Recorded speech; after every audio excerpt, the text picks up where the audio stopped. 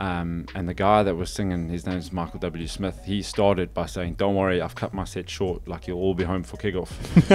um, so we, this guy, we gone to this concert. Everyone's paid this money. Cut short. We went home to watch South Africa England in the final, and then I fell asleep through the whole through the whole thing, which was also in Paris.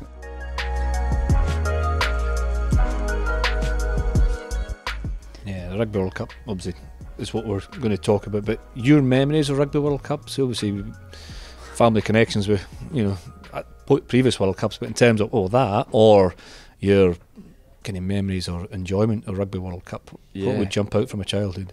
Yeah, it's, a, it's, uh, it's funny because someone asked me this the other day, and I was like, my my first proper memory is probably the 2000 World Cup final because South Africa were in it. My dad had taken us Mm. to a concert, Mm-hmm. um, and the guy that was singing, his name is Michael W. Smith. He started by saying, "Don't worry, I've cut my set short. Like you'll all be home for kickoff."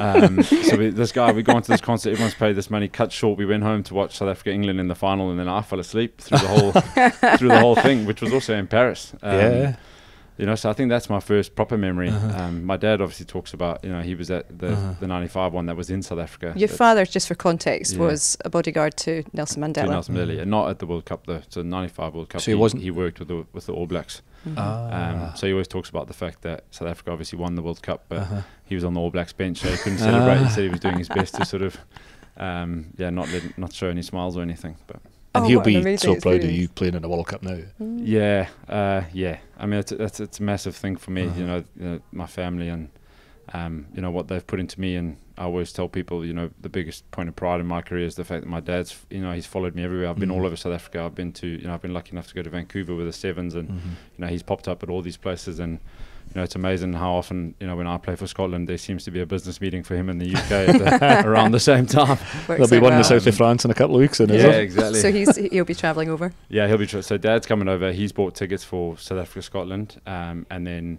mom's a teacher, and her school holidays fall um, over the Tonga Romania week. So the whole family is coming Oh, out, good. and my wife's family are coming out for for the Tonga Romania week. So we'll have everyone there. And your wife is expecting. You are Yeah. both expecting, aren't you? Congratulations on that. I tell you what, you don't have to pack a lot into your year this year, Kyle.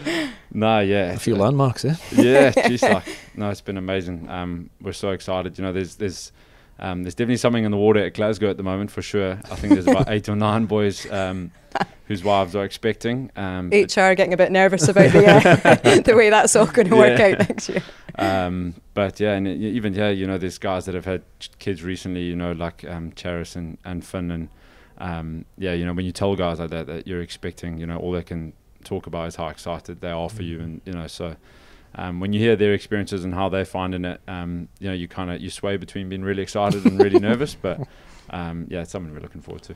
And to be able to have this journey again with with your, your mates, as we're saying, to be able to have that opportunity. If you think about, you know, for, for most of us, if you're having those celebratory conversations, you're you're also not really living together. So if you, you know, having that solidarity must be really nice too. Yeah, it is. Um, it is. It definitely is. Um, yeah, there's there's a huge girl dad crew growing here, so excited to be part of it.